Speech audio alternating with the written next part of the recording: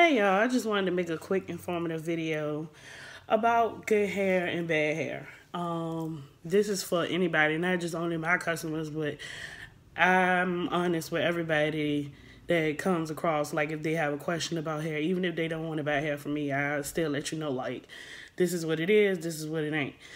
So I'm making this video because I wanted to let people know how can you tell what's good hair and what's not good hair.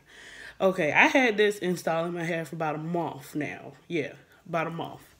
And I want to let you know that good hair in the nape area, it will you will not have no type of tangling or nothing like that. I don't care. I mean, as long as you keep it brushed, you can have the hair in your head for a long time. In the neck area, you will not have. You don't supposed to have no tangling in the neck area. One, that's one. Two, another way you can tell what's good hair and what's not good hair is if you bleach the hair.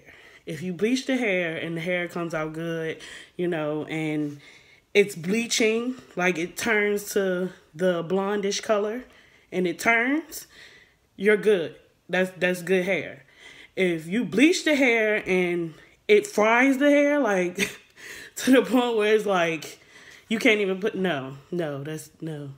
Just throw it away throw throw it away. And also, what else? Some hair does have gray hair strands in it. And I let all my customers know, like, they see a gray hair strand, that's good. Because now you know it's actually coming from someone's head. And it's not like some made up hair that you get from the Ruby Red or the Chinese store, whatever you want to call it. Yeah, so if you do see gray hair strands in your hair or different color hair strands in your hair, that's good. That's a good sign that you getting some good hair. Cause trust me, I done been through a whole bunch of vendors and stuff like that, and I just wanted to let people know that it's hard to find good hair. I know, trust me, like. But yeah, so I just wanted to make a little informative video real quick just to let people know, like, yeah, it, it's a big difference between good hair and bad hair. And good hair is going to last you about one to two years if you properly take care of it. You can wash it.